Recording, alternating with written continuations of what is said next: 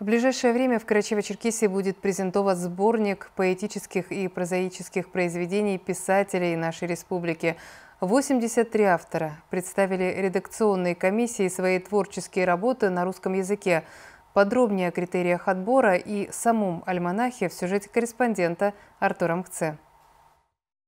Регион, в котором до недавнего времени не было даже собственного отделения Союза писателей России, менее двух лет назад при непосредственном участии Министерства культуры Карачаева-Черкесии получил и представительство творческого объединения, и идею о создании уникальной книги.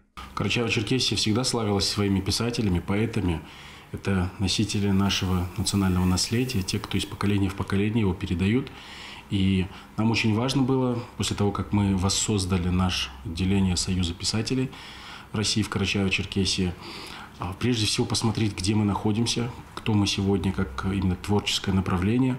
И для этого мы выбрали такую форму, как создание вот такого литературного альманаха, который позволил бы в себе собрать тех из писателей, которые есть сегодня, которые живут сегодня, которые творят сегодня. Мы активно влились в культурную жизнь э, Карачаева-Черкесии и на заседании правления эм, нашей организации мной была озвучена идея, которая горячо была поддержана нашими коллегами, членами правления, э, издать э, литературный альманах Карачаева-Черкесии. На сегодняшний день в федеральном списке числятся 90 членов Союза писателей России. Это жители Карачаева-Черкесии. На одном из заседаний правления Союза писателей Карачаево-Черкесии были определены критерии отбора авторов для публикации их произведений в альманахе.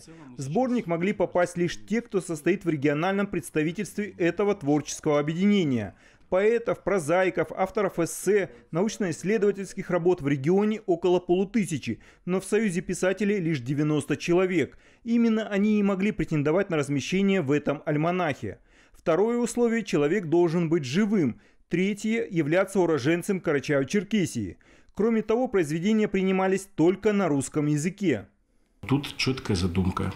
Альманах должен быть на русском языке, чтобы каждое произведение, смысл, ценность, душа каждого народа были понятны всем. Для нас принципиально важно, чтобы каждый из наших народов был понятен, был близок, был родным для всех остальных живущих в нашей республике. Сделать это можно только с использованием русского языка, но это ни в, коем, ни в коем случае не отменяет важности именно национальной литературы. Но для национальной литературы у нас есть другие проекты, где есть и детские сказки на родных языках, где есть произведения поэтов, писателей. В результате получилась такая великолепная книга, на страницах которой можно познакомиться с избранными произведениями и многонациональной литературы Карачаева-Черкесии.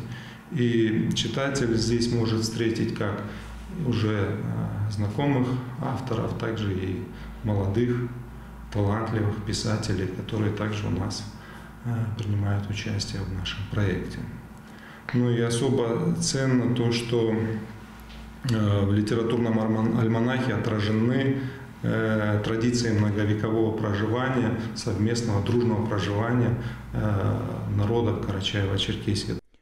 Презентация альманаха более широкой аудитории читателей запланирована на середину октября текущего года. Артур Мкцелек Махожев, Вести, Карачаево-Черкесия.